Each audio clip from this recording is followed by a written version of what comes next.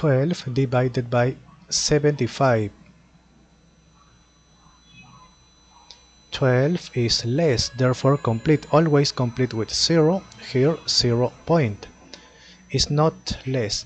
75 multiplied by which number is nearest to 120 but not greater.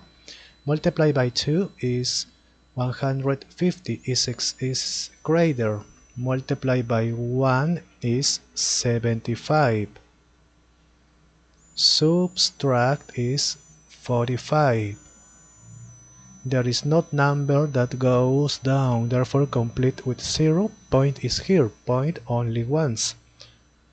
450 75 multiplied by which number?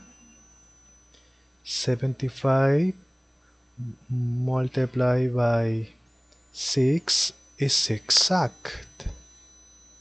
Multiply by 6 is exact 450 is not greater okay? Subtract 0 0 therefore finish. Finish